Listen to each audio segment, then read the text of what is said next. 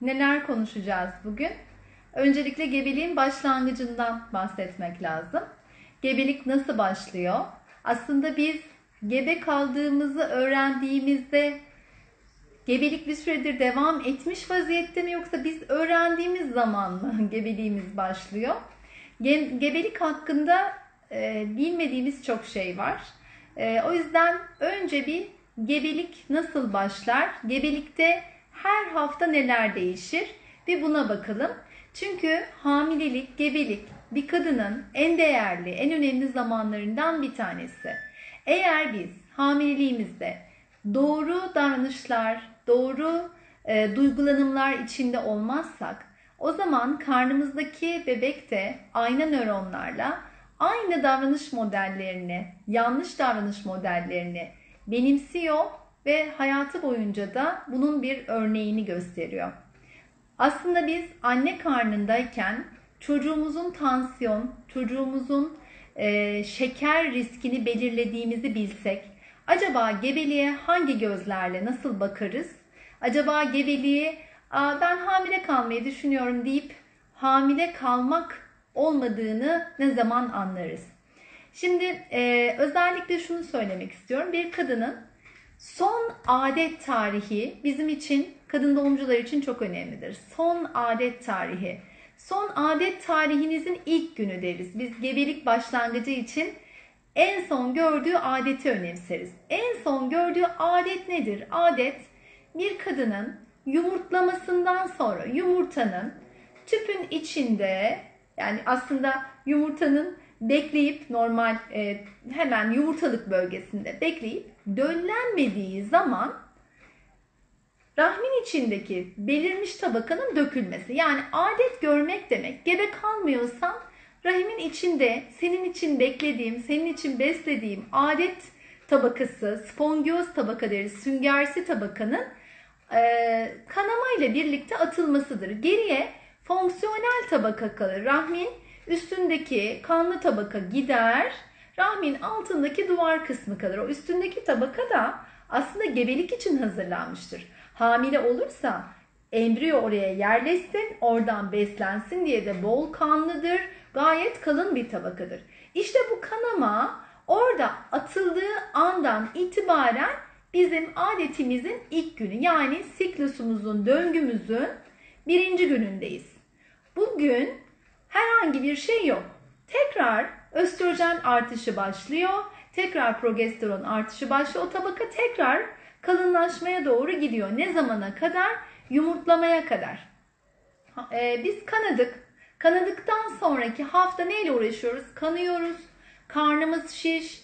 Kasıklarımız ağrıyor dışarıya doğru bir e, çıkış var. Yani bir kan çıkışı var, sıvı çıkışı var. Sonraki hafta yumurtlamamız başlıyor. Yani adet bitiyor.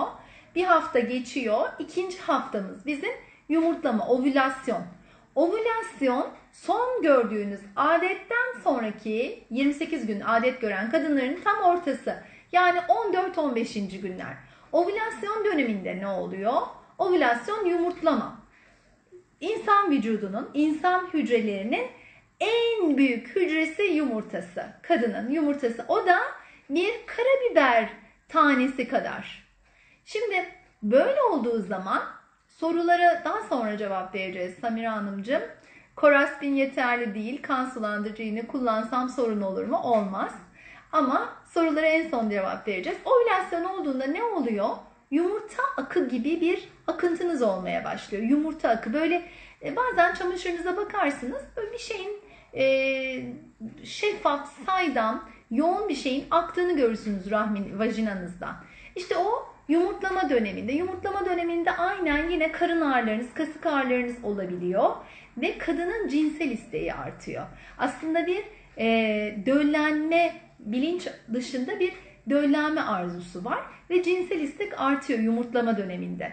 Bu dönem e, yumurtlama 48 saatlik yumurta beklemesi bir 72 saatte sperm içeride beklediği için 2-3 günlük bir her ay 2-3 günlük bir döllenme dönemimiz oluyor. Ve 100 kadının 25'i bu gebelik e, döllenmeyi sağlayarak bu döngüden çıkıyor. Gebelikte cinsel ilişki zararlı değil Zeynep Hanım ona geleceğim zaten.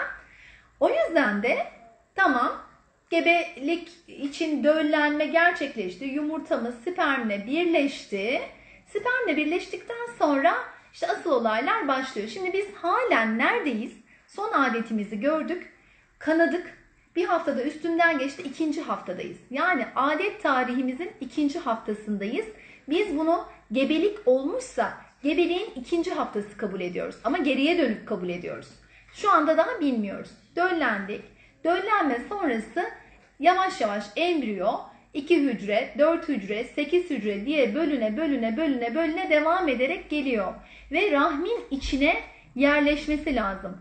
Bu rahmin içine yerleşmesi için de e, gerekli koşulların sağlanması lazım. Şimdi rahmin içine yerleşmesi döllendikten sonraki 5.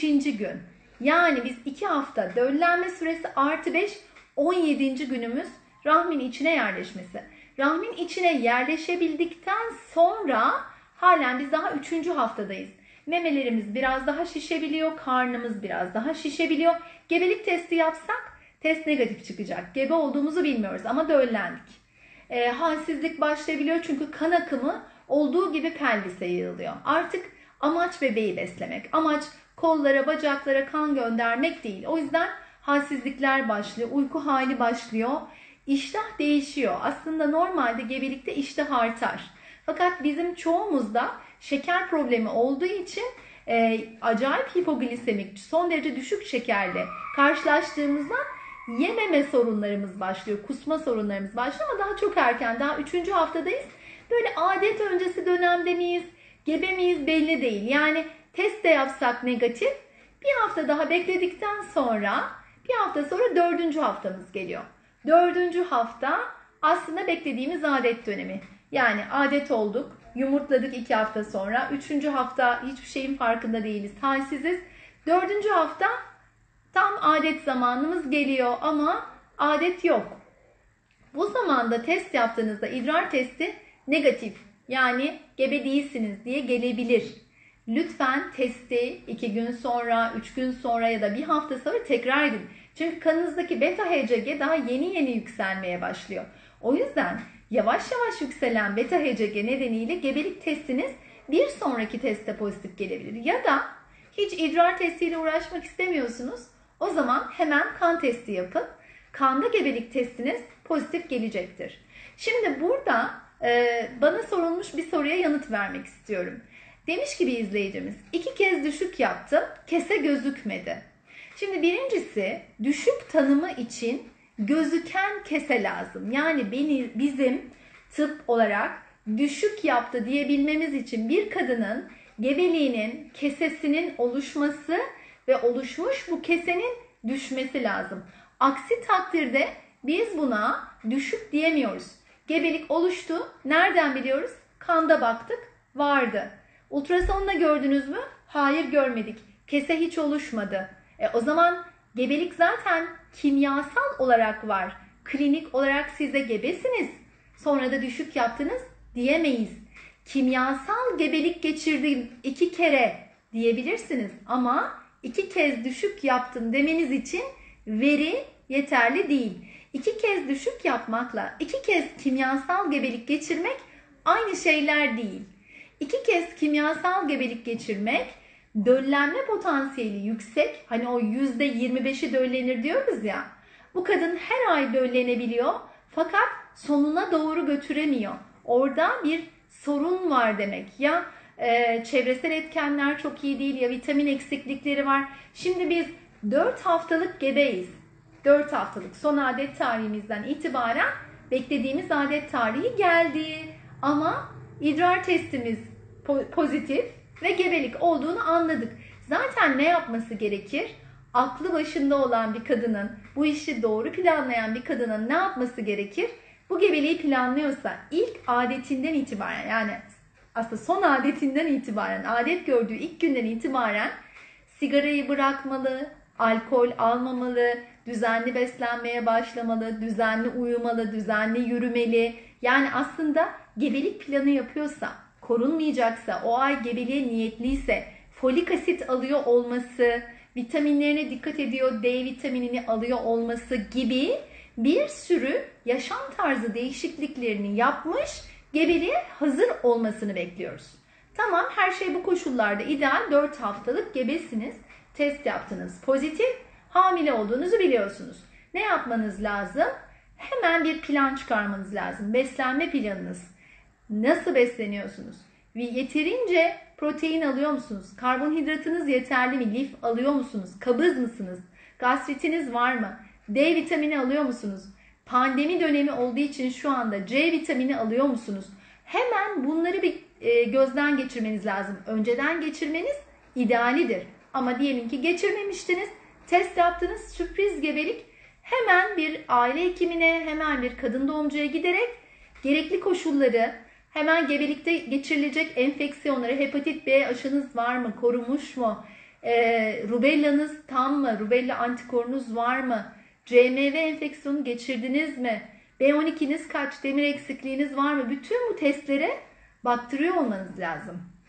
Bunları yaptırdık. 4 haftalık gebeyiz. Folik asitimizi alıyoruz. Diyetimiz mükemmel. Her şeyi biliyoruz. Çok hazırız. Kilo kontrolümüz var. Kilo almayacağız. Fit gebelik geçireceğiz. Eksik kilolarımızı varsa yerine koyacağız. Kiloluysak kilomuzu vereceğiz. Tamam. 4 haftalık gebesiniz.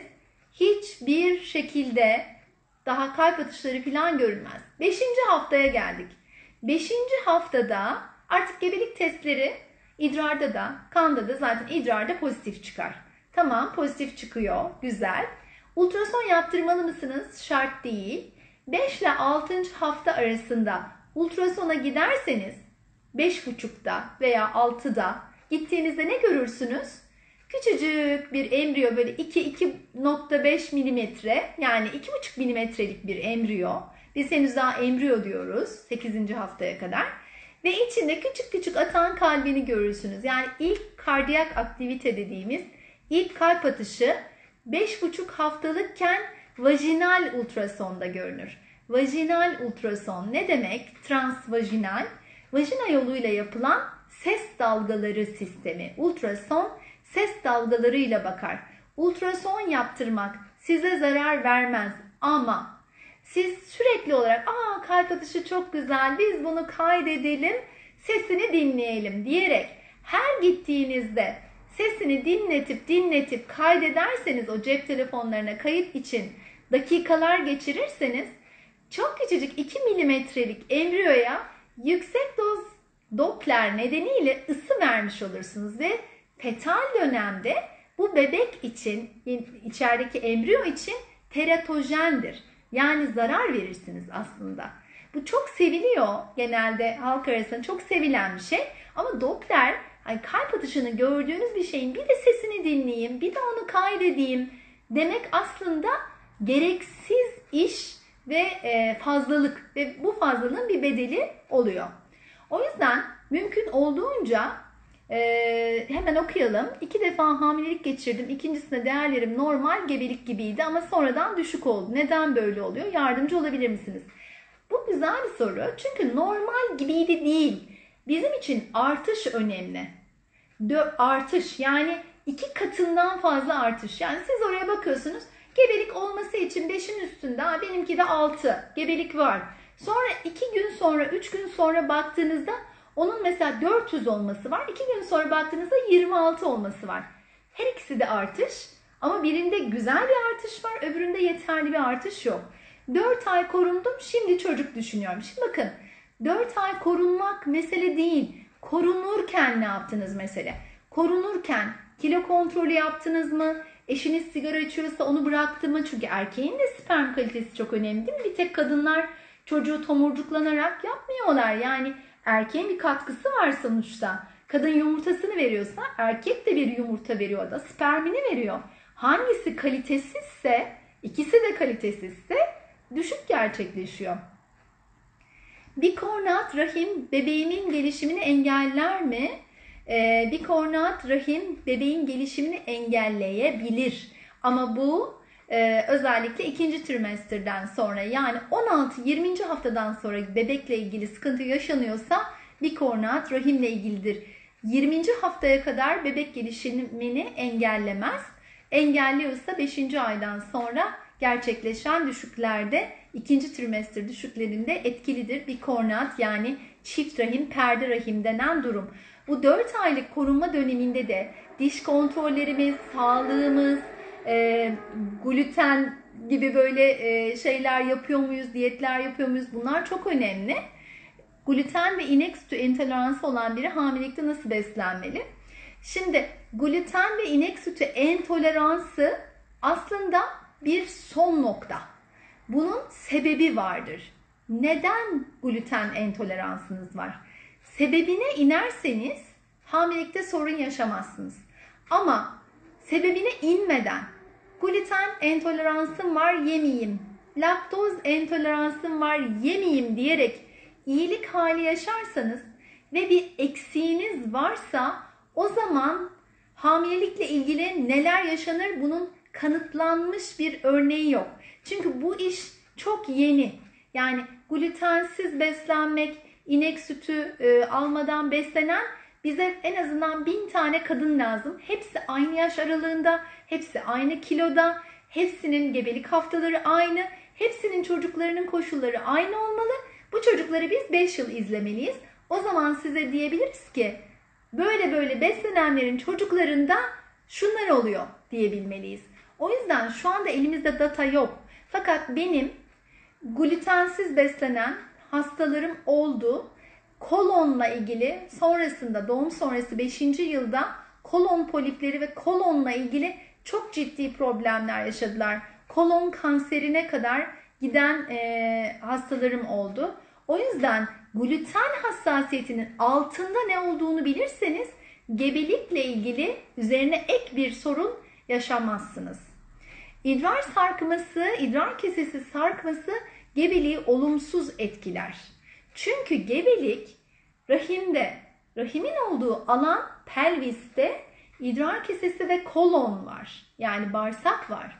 Eğer sizin idrar keseniz sarkmışsa zaten sizin o bölgedeki diğer organlarınız da aşağıdadır, sarkmıştır.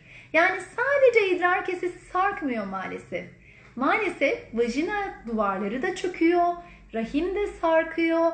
O yüzden bu kadınların gebeliklerini diğer kadınlara göre daha aşağıda taşıdıklarını hissettikleri yani şey dedikleri böyle ben sanki doğurdum doğuracağım. Böyle 9 ay boyunca her an çocuğu doğuracakmış, düşürecekmiş gibi hissettikleri, sürekli karın ve bel ağrısı yaşadıkları, idrar keselerindeki idrarı boşaltamadıkları için, sürekli o sarkan idrar kesesinde idrar biriktiği için, bu idrarı boşaltamadıkları için tekrarlayan idrar yolu enfeksiyonu yaşadıkları, tekrarlayan idrar yolu enfeksiyonları için antibiyotik kullanmamak üzere de bir de hani bir kullanıyor, iki kullanıyor, ay yeter artık kullanmayayım dediğinde de erken doğum yaşadıkları biliniyor. O yüzden mevcut bir sorununuz varsa idrar yolu, idrar kesesi sarkması, gastrit, diş çürüğü, herhangi bir sorunuz bunları halletmeden gebe kalmak çok da doğru olmayacaktır. 37 haftalık hamileyim. Bebek makat pozisyonunda. Doktorum 38'de sezeryan dedi. Kilosu da var. 38 hafta erken mi? 38 hafta ne demek biliyor musunuz? 9 ay 15 gün demek. 9 ay 15 gün. Biz gebeliği 9 ay 10 gün diye biliyoruz değil mi? 38 haftayı hesap edin haftaları her hafta her 4 hafta 1 ay ediyor. E, 36 hafta 9 ay ediyor. 38 hafta 9,5 ay ediyor. Peki kim 10 ay demiş? 40 haftayı kim söylemiş? İnsanlar kendileri yani sağlık ekonomi politikaları demiş ki biz 40 haftaya kadar bekleyelim. Bir dönem beklenmiş 41'e kadar bekleyelim demişler. 40 ile 41 arasında anne karnında bebek ölümü artışı var. Şu anda tam rakam veremeyeceğim size ama onun Dünya Sağlık Örgütü'nün de çok güzel bir afişi var. 39. gebelik haftasından sonra anne karnında bebek ölümlerinin bebek ölüm hızının arttığını görürsünüz. 42'de bu tolere edilebilir boyuta geliyor. Yani artık 43-44'lerde neredeyse yarısını kaybediyorsunuz karnınızdaki bebeğin. 100 tane bebeğin 50'si ölüyor. Şimdi öyle olunca demişler ki hani biz bunu 42 son diyelim 40'ta ama ortalama bitirelim. Şimdi sizin düşünün 37 haftalık gebesiniz. Ben 37 haftalık suyum geldi ve doğurdum. Şu anda şu anda suyunuz gelse kimse size etraftan ay bu erken erken doğurdun demeyecek. Bu doğal kabul edilecek. Doğal yollardan kabul edilecek. İş 38 haftada sezaryana gelince orada bir erken lafı oluyor nedense. Halbuki tıbben böyle bir şey yok. Tıbben sezaryen tarihi 37'den itibaren hesaplanır ve riskli gebelikler, makat doğumlar, iri bebekler, diyabetik anne çocukları, hipertansif gebeler 38'de gebeliklerini sonlandırmak üzere doktorları tarafından planlama yapılır. Çünkü bu gebeliklerin 38'den sonra komplikasyon, anne karnında ölüm, kordon dolanması, su bitmesi, su azalması, su artması, zor doğum gibi durumları daha yüksektir. O yüzden 38. haftada sezaryen demesi hekiminizin makat geliş, sezaryen demesi gayet doğal. Siz lütfen eskiden olsaydı ne yapardınız bunu düşünün. Şu anda bir korku var insanlarda. Sezaryen olursa her şey bitecek. Sezaryen olursa çocuğuna kötülük yapmış olacak ama bakın bunun bilimsel çalışmaları var. Bir kadın 9 ay boyunca elinden gelen her şeyi yapmış, demir eksikliği yaşamamış, omega 3'lerini tamamlamış, vitaminlerini B12'sini, D vitaminini, C vitaminini almış, doğru beslenmiş.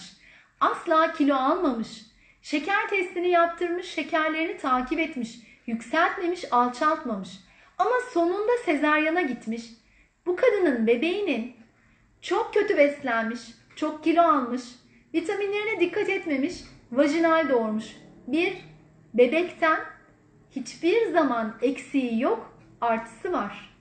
Lütfen sadece bir saatlik doğum olayına takılmayın. Doğum bir saat. Çocuğun vajinadan çıkması, o vajinayla teması, işte vajinal probiyotikleri alması hepsi bakın vajinada biz 2 saatten uzun kaldığında sezaryana gidiyoruz zaten. Sezaryana gidiyoruz. 2 saatten uzun kalamıyor vajinada. E, sezaryen olduğunda da bu çocuk suyu gelmiş sezaryana gitmişse ya da ağrı olup sezaryana gitmişse de vajinal probiyotikle temas ediyor. Hani lütfen sezaryen olan çocuklar kötüdür. Vajinal doğum yapanlar çok iyidir gibi bir negatif algı ya da te, yani tek yönlü bakış içine girmeyelim. Elimizden geldiğince vajinal doğum yapmaya çalışıyoruz ama olmazsa sezaryen da anne ve bebek hayatını kurtaran mesela makat doğumda iri bir bebekte düşünün popodan çıktı bebek. Poposuyla geliyor geliyor ayakları çıktı omuza kadar geldi. Başı içeride kalırsa yani şu şekilde çıkması gerekirken bebeğin başı e, annenin rahmi tarafından sıkıştırılıp bebeğin başı bu şekilde takılı kalırsa ki bizim kitaplarımızda bunların görselleri vardır. Çocuk başından asılır aşağıya doğru. Yani elleri kolları çıkmış böyle başından kalmış burada asılmış. Yani bu noktadan sonra sizin yapabileceğiniz hiçbir şey yok. Bebeği de kaybettiniz. Annenin rahmine de çok büyük bir hasar verdiniz. Öyle büyük bir hasar verirsiniz ki bir sonraki gebelikte çocuğu dördüncü aya kadar bile getiremez. Sürekli atar. Şimdi bu durumda sezaryen yapmak ciddi bir hayat kurtarıcı durum. O yüzden lütfen endişe etmeyin. 38 haftalık bir gebe olarak sizin sezaryana gitmeniz erken değil. Ama şunu hatırlatayım. Makat gelmiş iri bir bebek sezaryen de olsa vajinal doğum da olsa yoğun bakıma girebilir. İri olduğu için haftasına göre kilosu olduğu için akciğerleri yeterli gelmeyebilir. Yoğun bakıma girebilir. Bu ne siz sezaryen oldunuz diye ne de siz 38. haftada doğurdunuz diye gerçekleşmez. Bu bebeğin kilosu olduğu için gerçekleşir. Evet, şimdi nerede kalmıştık? 6. haftadayız. 6. hafta tamam bebeğin kalp atışlarını gördük. 7 haftalık bir bebek ne kadar biliyor musunuz? 10 milimetre daha. Daha 1 santim. 7 haftalık bir bebek. 1 santim. Yani ortada hiçbir şey yok aslında 7 haftada. Ama kalp atışlarını görüyoruz. Kıvrılmış böyle C harfi şeklinde bir bebek var ortada. 9 haftaya doğru gelirken böyle 7. hafta tamam bunları görmeye başladık. Anne yavaş yavaş artık e, duygu durumu değişti. E, karnı şişti. Karnı böyle bir anda şişer beta HCG ile. Memeler şişti. E, vajinasındaki akıntı arttı çünkü vajinayı sürekli yıkıyor. Rahime çok güzel kan akımı geliyor. Hafif kasık ağrıları hissediyor. 8. haftaya geldik. ikinci adet periyodumuz. Yani 4. haftada görecektik. Görmedik. 8. haftaya geldik. ikinci adet periyodumuz. Hafif bir lekelenme olabilir. Bunu bazen üstüne görme falan derler ama değil aslında. Plasenta oluşuyor. Artık 8. hafta ile 10. hafta arasında yumurtalıklar korpus luteum dedikleri progesteron yapan e, organellerini plasentaya bırakacaklar. Plasenta bebeği besleyen 500 gramlık hayat ağacı gibi e, rahime yapışan ve bebeğin bütün su dengesini, hormon dengesini, beslenmesini, antikorlarını her şeyi ayarlayan halk arasında eşi diye bilinen bir organ ve plasenta oluşmaya başlıyor. 8. haftada biz artık ne diyoruz? Embriyo demiyoruz, fetus oldu. Artık fetus diyoruz. Şimdi artık bir fetusumuz var. 8. haftada gayet güzel görebilir vaziyetteyiz. Kafası var, iki kol, iki bacak böyle küçük küçük şeyler şeklinde çıkıyor. Artık e, böyle bisküvi adam gibi ya da patatese saplanmış kürdanlar şeklinde çıkıyor. 9. haftaya doğru giderken ne oluyor? Artık bebeğimiz 10 milimetreydi ya 9. haftada 22 milimetre oldu. 2 santim düşünün 2 santim şu anda. Yavaş yavaş 9. haftada 10. haftaya doğru geldiğimizde 2,5 ay artık neredeyse biz bebeği kafasını, gövdesini, iki kolunu, iki bacak kısmını görebiliyoruz ve çok güzel ölçüm alabildiğimiz zaman yani vajinal ultrasonda en doğru gebelik haftasına bakılan haftalardan bir tanesi 10. hafta. Kalp atışı maksimumlarda 180 vuruyor dakikada bebeğin kalp atışı. Her seferinde kalp atışı dinletmiyoruz. Lütfen bu Doppler meselesine bir sınır koyalım. Sürekli kalp atışı dinleteceğiz diye uğraşmayalım. Birazcık daha kendimizi sakin tutalım. 10. Ee, hafta artık bebeğimiz geldi. 10. haftaya ee, ve hafif bir kıvrım hareketini ultrasonda böyle bebeğin bir dalgalanma hareketini görebiliriz. Bu arada bir soru vardı. Hemen bir bakayım. Onu kaçırmayalım şurada. İlk gebeliğim ve 4 yıl sonra oldu. O yüzden doktorum ne dese yapıyorum ama herkes sezaryen olma diyor. 42 haftaya kadar bekle diyorlar. Şimdi kaçıncı haftadasınız bilmiyorum. Ama herkes mi doktorunuz mu? Önce bir buna karar vermeniz lazım. Başınıza bir şey geldiği zaman o herkes size ne diyecek ve onu düşünmeniz lazım. E, doktorunuza güveniyorsanız doktorunuzun sizin için en iyisini yapacağını bilerek hareket etmeniz lazım. Çünkü e, herkes dediğiniz kişileri gebelikle ilgili tecrübeleri çocuk sayıları kadar. Ve ne kadar doğru, ne kadar yanlış bunu bilemezsiniz. Ama hekiminiz 6 sene tıp okudu. Bu yetmedi. Üzerine 4 senede sadece kadın doğum ihtisası yaptı. Gecede en az 25-30 sezeryan 25-30'dan fazla doğum yaptırdı bir gecede çarpı 4 yıl. O yüzden lütfen bir şey karar verirken bu işin profesyoneline bırakın. Siz kuaföre gittiğinizde her şeyi makas alıp kendiniz mi kesiyorsunuz? Saçı kendiniz mi boyuyorsunuz? Kuaföre gidiyorsanız ona bırakıyorsunuz değil mi? İşin ustasına. O zaman bu kararları hekiminize bırakın. Başkalarına Bence yanılmazsınız. Eğer hekiminize güvenmiyorsanız güveneceğiniz bir hekimde olun. Asla güvensizlik ortamı içinde gebelik geçirmeyin. Ama sizin her dediğinize evet diyen, sizi sürekli onaylayan, sizi yönlendirmeyen bir hekim değildir sizin istediğiniz. Yani öyle olmaması gerekir. Bazen de şu oluyor. Hekim diyor ki vitaminin eksik. Yok ben doğal kullanmak istiyorum diyor hasta. Doğal bir şey yok artık. Yani folik asitimizi biz maruldan alamıyoruz. Hangi marulda yeterli folik asit var bilmiyoruz. O yüzden mecburen folik asiti vitamin olarak, tablet olarak almak zorundayız. E o zaman hekim bu konuda ısrar etmek zorunda. Aa bu hekim benim istediğimi yapmıyor diyerek hekiminizi bırakırsanız işte o kuaföre gidip kendi kendinize saçınızı kesen insanlara dönersiniz. O yüzden gebelik gerçekten çok önemli ve bunun testi yok. Yani 9 ay sonra siz çocuğu doğururken bir hasar, bir sıkıntı yaşadığınızda keşke demeniz artık bir şey ifade etmiyor. O yüzden son pişmanlıklara girmeyin. 11. haftaya geldik. Bebeğimiz büyüdü. 10. haftayı geçirdik. Artık 11, 12 birinci trimestri kapatıyoruz. Yani 3. ay geliyor. Neredeyse 3. adet periyodumuz geliyor. Bebek artık bildiğiniz bir insanın kopyası. Kafası var, kolları oluşmuş, e, yüzü oluşmuş, yüz kemikleri oluşmuş, kulakları oluşmuş, gözler böyle hafif yanlarda daha, çene kemikleri ve içindeki süt dişi taslakları var. Kalbi zaten yine gayet güzel bir şekilde atıyor. Ufak ufak kıvrımları var. İçeride cinsel organlar oluşuyor ama dışarıda onları böyle net işte penis, işte vajina diyebileceğimiz net dış genital yapıları yok. Ama birebir bir büyük insanın kopyası artık 12. haftada. Ne zamanı geldi? 12. hafta neyin zamanı? Saç boyasının. Evet tabii ki saç boyasının da zamanı. Saçlarınızı boyatabiliriz. Beyazlarınız varsa kapatabilirsiniz. E, iş planınızı ayarlayabilirsiniz. E, ne bileyim iş ortamınızda artık gebe olduğunuzu söyleyebilirsiniz. Sanatçılar gibi ilk 3 ay geçti artık gebeliğimi söyleyebilirim diyebilirsiniz. Neden? Çünkü ilk 3 ay 100 gebeliğin 33'ü gebeliğini kaybeder.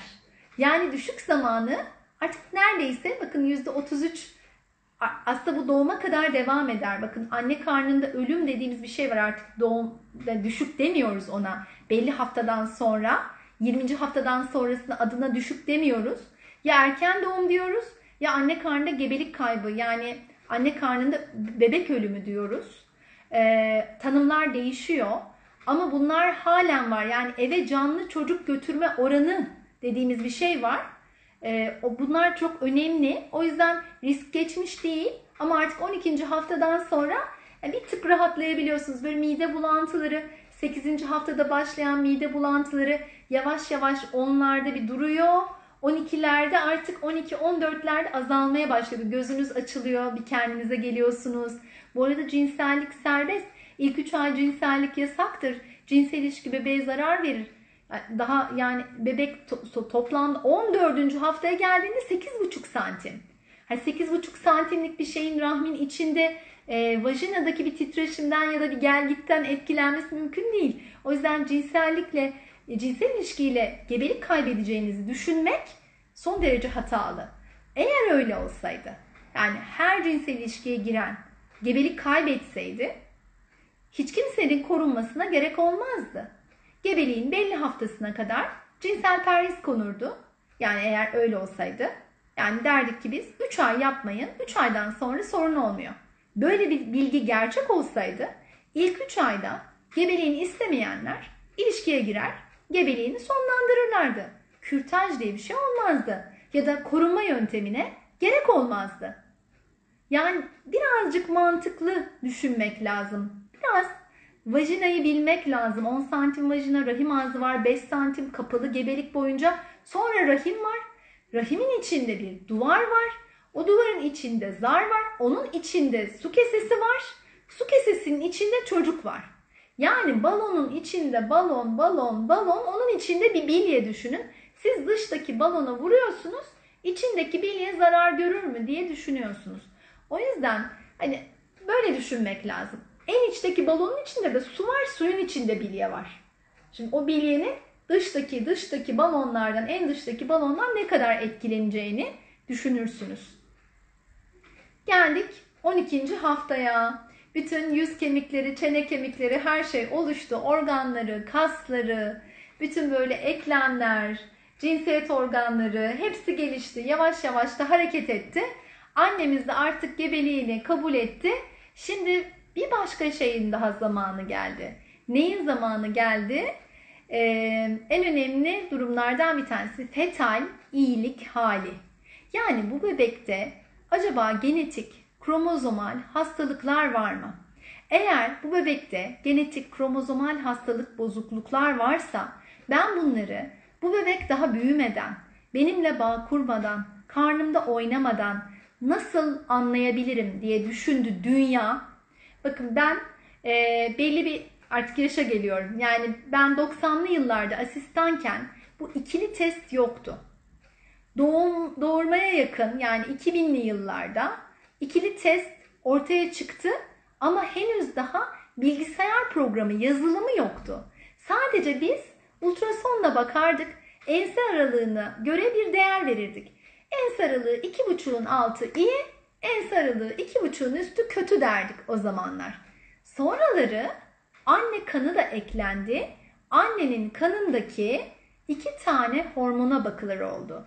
Bunlardan bir tanesi beta HCG, bir tanesi de gebeliğe bağlı plazma proteini, plasenta proteini A, PAP-A.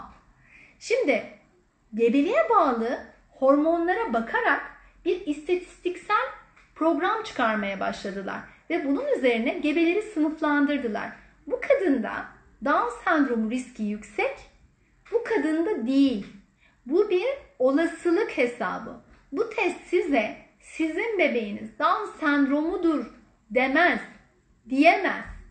Bu test size sizin Down sendromlu bebek doğurma ihtimaliniz diğer kadınlara göre daha yüksek diyebilir. İnsanlar genellikle şöyle geliyor. Zeka testi yaptırdım. Bunun adı zeka testi değil. Zeka çok faktörlü. Mesela otizm, bir otizm sendromu olan Asperger sendromunda IQ çok yüksektir. Yani zeka müthiştir. Ama o bir otizm sendromudur. Asperger. EQ yoktur. Göz teması kurmaz. Sizinle iletişime geçmez. İnsan iletişimi çok bozuktur. Ama IQ yani zeka müthiştir. İşte bu testler zeka testi değiller. Lütfen doğru bilelim. Bu test Down sendromu, Edwards sendromu ve Patau sendromu. Bu üçüne bakar. İkili test nasıl bakar? Gebeyi yatırırsınız, ultrason yaparsınız, karnından ultrason yaparsınız. Ultrasonla bebeğin ense aralığını ölçersiniz. Bunun için kurallar vardır. Bebek düz yatacak, yan duracak. Bebeğin amniyoslarıyla ensesi arasındaki alan belli olacak. İkisi birbirine yapışıkken ölçüm yapılmayacak. Bu testi önce bir ölçüsünü alırsınız.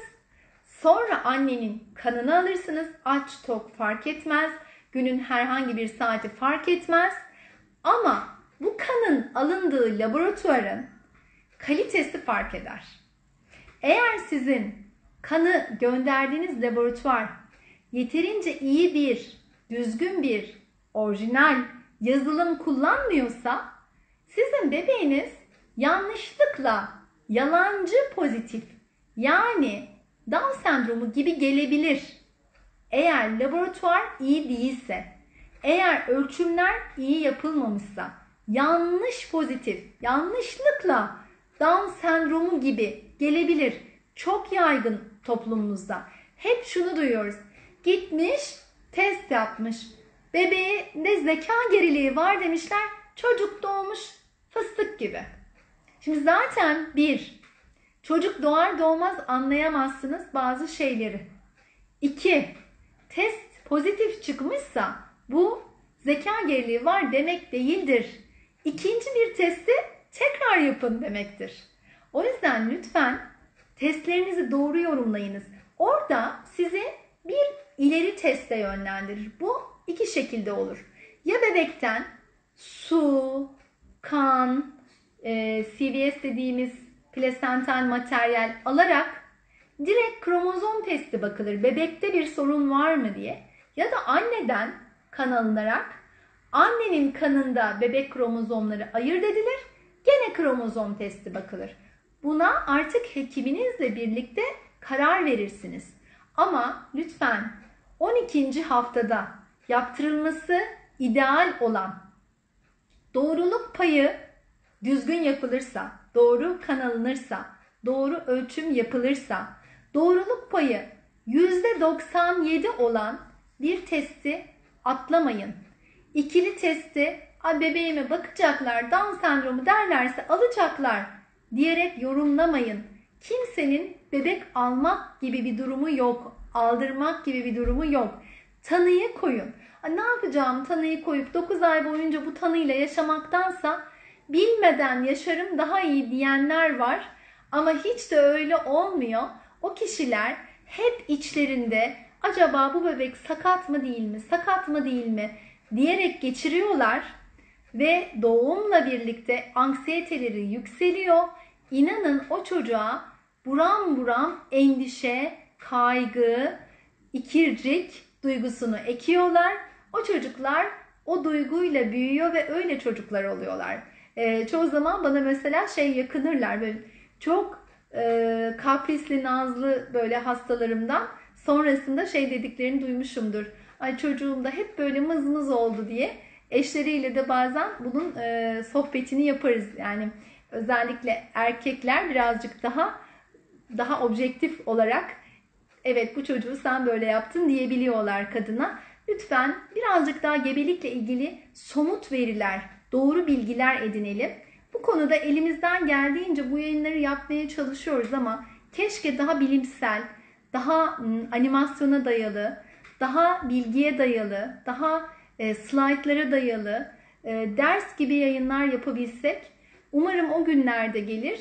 E, ama gebelikle ilgili öncelikle oturtmamız gereken anne eğitimlerimiz var. Anne adaylarının e, güvenli gebelik geçirmeleri için eğitimleri çok çok önemli. Burada alacağınız bir bilgiyi e, başkalarıyla da doğru şekilde paylaşmanız çok kıymetli. Gebelikle ilgili doğru bilgileri edinmek için lütfen öncelikle hekiminize ama hekimler aynı sorulara maruz kalmaktan çok sıkılmış olabiliyorlar. E, birazcık da kendiniz doğru araştırmaları yapmaya çalışmalısınız.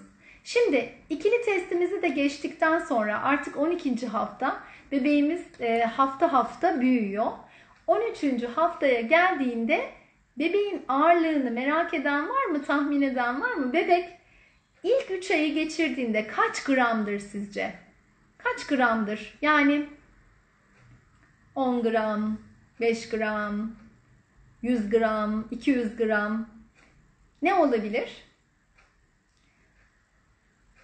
Evet Melike Hanımcığım e, ilk hamileliğim 24 haftalık doktorum şeker yüklemesine gerek olmadığını söyledi. İleride bir sorun olur mu acaba demiş.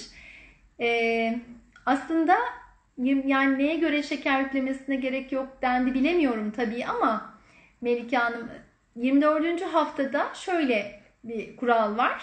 Ailesinde birinci derecede gebelik e, şekeri yani ailesi birinci derece yakınında annesinde babasında şeker olanlarda mutlaka yapılması lazım. Annesi ya da babası gene birinci derece yakınlarında kilo olan, kilo derken de karın bölgesi yağlanması olan da yapılması lazım.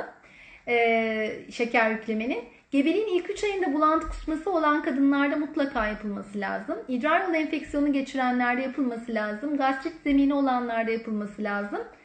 Yani e, şöyle doktorunuzun dediğine bir şey diyemiyorum.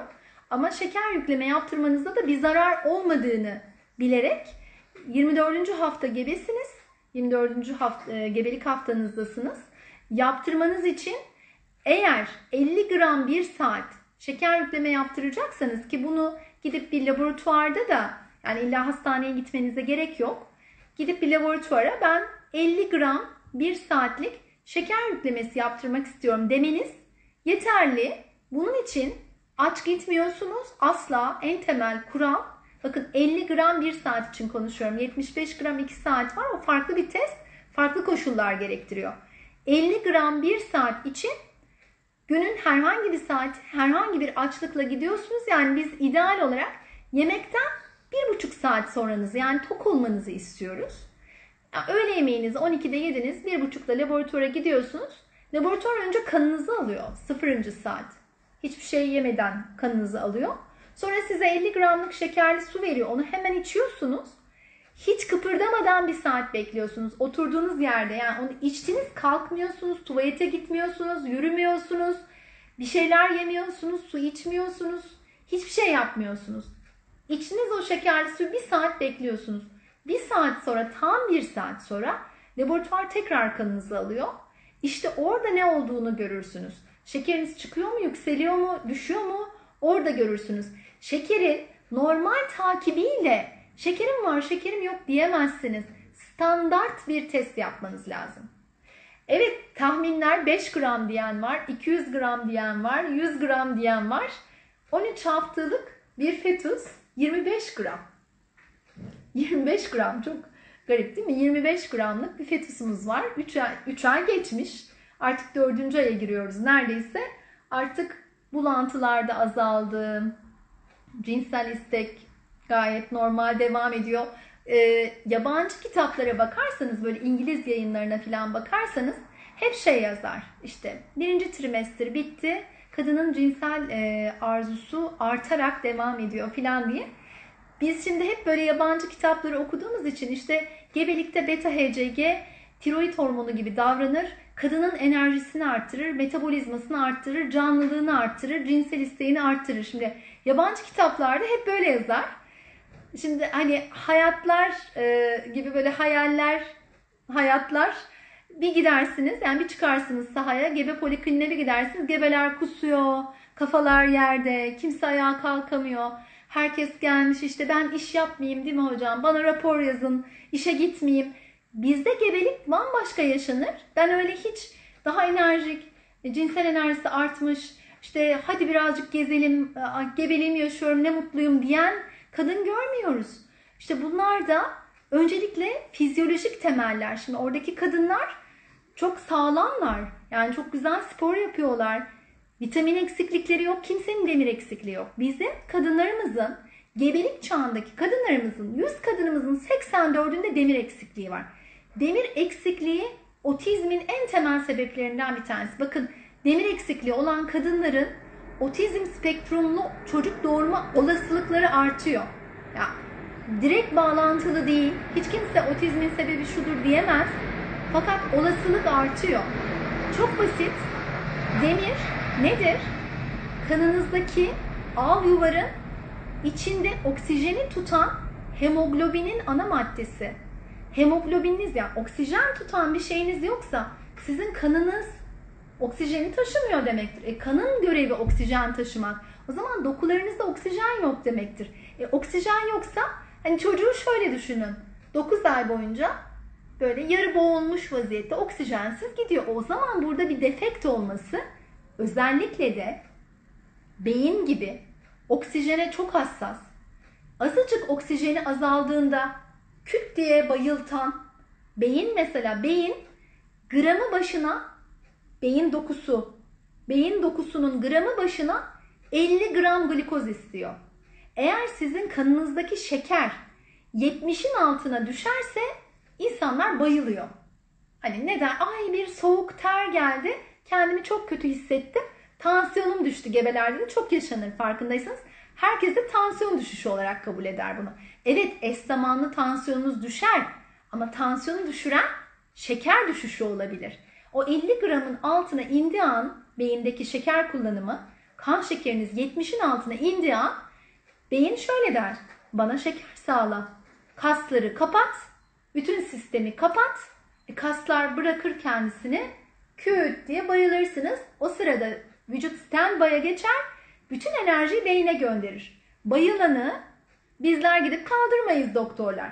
Çevredekiler illa bir kafasını kaldırırlar filan. Halbuki hekim olan sağlık personeli hiç dokunmaz. Bırakır, o kan akımı gelir, tansiyonsa yükselir, beynine gelir, şekeri ise kendini toparlar. Ondan sonra kişi belli bir süre yattıktan sonra kendine gelir. İşte bu kadar basit. Şekeri düşürdüğü an sistemi kapatıyor, sigortayı kapatıyor, indiriyor şalteri. O zaman biz ha, bu kadar kıymetli bilgilerimiz varken bunları ilk ben söylemiyorum. Bunlar bütün kitaplarda yazıyor. Bunlar varken neyin tartışmasını yapıyoruz? Bizim vitamin eksikliklerimiz, demir eksikliklerimiz, folik asit eksikliğimiz had safhada. O yüzden bizim gebelik kalitemiz Çin'deki gebelik, İngiltere'deki gebelikle aynı değil. Ha başka diğer dünya ülkelerinin gebelikleriyle kıyaslanabilir. İyi olduğumuz yerler var. Afrika'ya göre, Arabis, Araplara göre daha iyiyiz ama bir e, İskandinavlara göre, Avrupa ülkelerine göre iyi kalitede gebeliklerimiz yok. 20. haftama geldikten sonra bebekte gelişim gerilimi olacak. Benim rahmim bir korneat görünümünde çünkü daha önceden de 29 haftalık ölü doğum yapmıştım. Şimdi e, 29 haftalık ölü doğum yapmışsanız, rahminizin bir koordinat olduğunu da biliyorsanız bu konuyla ilgili gebelik öncesi danışmanlık almışsınızdır. Eğer gebelik öncesi aldığınız danışmanlıkta bunun bir sorun olmayacağı, çünkü her bir koordinatta gebelik kaybedilecek anlamına gelmez. Benim zamanına kadar 38'e kadar gelip doğuramadığı için sezaryen yaptı. Sezaryen sırasında bir koordinat olduğunu gördü. Hastamda var. Yani her bir koordinat çünkü derecesi var bunun. Sonuçta gebeliğin de kalitesi var. Çünkü bir e, ağaç ne kadar iyi kök salarsa fırtınaya, rüzgara o kadar iyi dayanabilir. Sizin ağacınız, gebeliğiniz cılızsa, sizin gebeliğiniz yeterli kalitede embriyo olarak iyi değilse, fetus olarak yani yumurta iyi gelmemiş, sperm iyi gelmemiş, toprak iyi değil yani bu ağacın tohumu iyi değil. Ağacın toprağı iyi değil. Ağacın yeri iyi değilse orada en ufak bir rüzgarla o ağaç devrilir. Ama siz çok iyi bir tohumu, çok iyi bir toprağı çok sıkı bir şekilde gömmüşseniz o ağaç ne fırtınalar geçirir hiçbir şey olmaz. Benim bir gebem şeker ilacı kullanması gerekirken ilk dönem kullanmadı. Çevredekileri dinledi. Çevresindekileri dinledi. 38 yaşındaydı. Hostesti. Ağır tempoda çalışıyordu. İki tane karnında gebelik kaybetmişti. Şeker tanısını koymuştuk. ilaç başlamasını önermiştik. Ben e, gebe kaldıktan sonra bana haber vermeden ilacı çevresindekileri dinleyerek kesmiş. Bana kestiğini bildirdikten iki hafta sonra durup dururken bir kanamayla biz o gebeliğini kaybettik. Daha sonrasında hocam ben sizin dediğinizi yapacağım. Hiç kimseyi dinlemeyeceğim diyerek iki ay bir e, periyot koyduk, ara koyduk. Tekrar durumu düzenledik, tekrar vitaminlerini yeniledik. Gebelik izni verdim. Tekrar gebe kaldı. Bu ikinci gebeliğinde yani aslında dördüncü gebeliğinde gebelik sırasında bir trafik kazası geçirdi. Hostesleri taşıyan minibüse bir araç çarptı. Minibüsleri ters döndü. Bu kadıncağız da emniyet kemeri takmadığı için çarptı ve kalçası kırıldı. Gebelik, 8 haftalık gebelik, 38 yaşında hamile kadın, 3 tane gebelik kaybı var. O bebek doğdu. Asla kanamadı, düşük yapmadı. Bakın kalça kırılacak kadar kalçasında çatlak oluştu. Yatar bir süre yattı. E, tedaviler aldı ama o gebeliği kaybetmedi. Söylemek istediğim sanırım anlaşıldı. Hocam bir aylık evliyim, eşimle ilişkiye giremedim. Aşırı ağrım oluyor, kendimi kaybediyorum. Kadın doğuma gittim ama bizimle alakası yok dendi. Ne yapmam lazım? Şimdi vajinismus tedavisi yapan kadın doğumcularla yol alırsınız. Vajinismus e, ayrı bir durum. Tabii şu anda gebelikle ilgili konuşuyoruz. Ama size kısaca şunu söyleyeyim.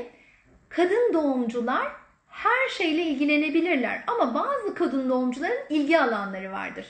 Vajinismus tedavisi yapan bir kadın doğumcu bulup ona giderseniz size kadın doğumcu olarak yardım eder. Aksi takdirde e, kadın doğumcunun demek istediği şey psikiyatrist veya psikologlara da gidebilirsiniz demek. Sadece 36-38 haftadan sonra erken doğum riski olabilir dedi. Bu bebeğin gelişimini engellemez dedi. O zaman doktorunuz öyle dediyse bir kornat rahmi direkt olarak 29 haftadaki gebelik kaybınızla bağlantılamamanız gerekiyor. Demek ki başka sorunlarda eşlik etmiş demektir. Evet konumuza dönecek olursak bir hastamız e, hangi aşıları yapalım gebelikte diye sormuş ki korona döneminde bence aşı kısmını atlamamamız, e, atlamamamız lazım. Şimdi öncelikle grip aşısını zannedersin herkes artık öğrendi, biliyor. Grip aşısı gebelikte yapılır mı? Grip aşısı canlı aşı mıdır? Hangi aşılar gebelikte yapılır? Hangi aşılar yapılmaz? Bu konuda öncelikle şunu söyleyeyim. Canlı aşılar gebelikte yapılmaz. Yani bir aşının üzerinde canlı virüs diyorsa bu aşılar gebelikte yapılmaz. Gebelikte yapılan aşılar inaktive virüs Yani ölü virüs aşılarıdır. Virüs aşısıysa verem aşısı olabilir, bakteri aşısı, hepatit aşısı olabilir yine virüs aşısı. Bunlar farklı yani bakteri aşıları var, virüs aşıları var. Ee, sarı humma gibi hani diğer şeyler var, aşılar var, difteri var, kolera var, boğmaca var. Şimdi gebelikte bir kere yapılacak olan aşı grip aşısı evet. Fakat canlı grip yani canlı virüs aşısı olmayacak. Şimdi grip aşılarının içinde hangi aşı canlı virüs aşısı üzerinde yazacak ama e, burundan sprey şeklinde verilen bir grip aşısı var. O canlı grip aşısı. Onu yaptıramayız. Onun dışında kızamık, kızamıkçık kaba kulak. KKK. Kızamık, kızamıkçık kaba kulak. Ya da bunun İngilizcesi MMR. Bunları gebeyken yaptıramayız. Hasbelkader bunu yaptırdık. Kızamıkçık aşısı yaptırdınız. Gebe kalmamanız gerekir. Gebe kalırsanız bebekte iç kulak hasar nedeniyle sağırlık veya kardiyak anomalilere sebep olabilir. Lütfen canlı aşılara dikkat edelim. Gebelikte neler yapılabilir? Haftasından bağımsızlaştırdılar son dönemde pandemi nedeniyle. Yani ilk 3 ayda da gebelere canlı olmadığı için grip aşılarının yapılabileceğinden bahsediliyor.